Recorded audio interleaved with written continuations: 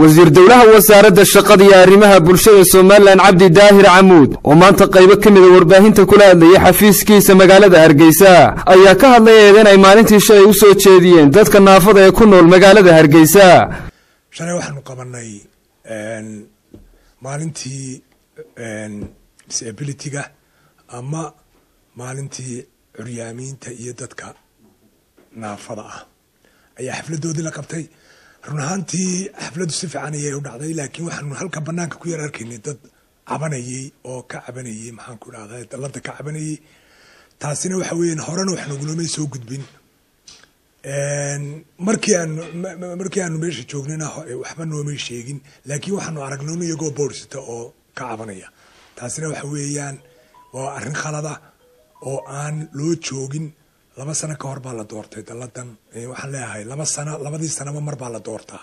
Dalladan doorashadii qoladii lagaga helay ayay ahaayeen qoladii shalay joolo cabanaysay markaa deedna dalladan howlo badan bay u qabataa naafada way u shaqaysaa way shaqaday u raadisaa wixii ay tabanayaan bay u soo samaysaa. Howl adag oo wanaagsan bay u qabtaa.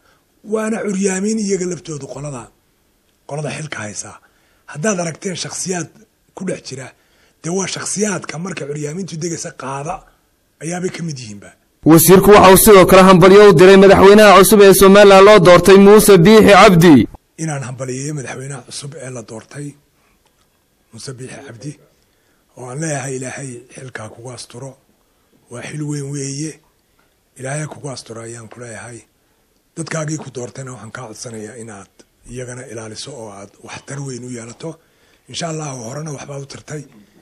Hadeerna waxbaad tari doontaa insha allahu markaa waxaan kaa codsanayaa inaad ummadda reer somalilan aada ugu shaqayso sinaan iyo cadaalad aad ugu shaqayso warbaahinta ayaa wasiirka wax ka weydiisay maadaama oo lagu jiro wakhtigii dhaxanta bal waxay u qabteen bulshada danyarta ee ku dhaqan magaalada hargeysa oo aan awoodi karin hu ay kaga gaashaantaan dhaxanta. Waxa uu kaga jawaabay derbijiifka ayaan horta shaqo ku leenay dadka derbijiifkana waa aragteen oo in in maxamed mooge ay joogaan ilaa boqol iyo labaatan ilaa boqol caruura oo derbiga jiifi jirtay inay joogaan.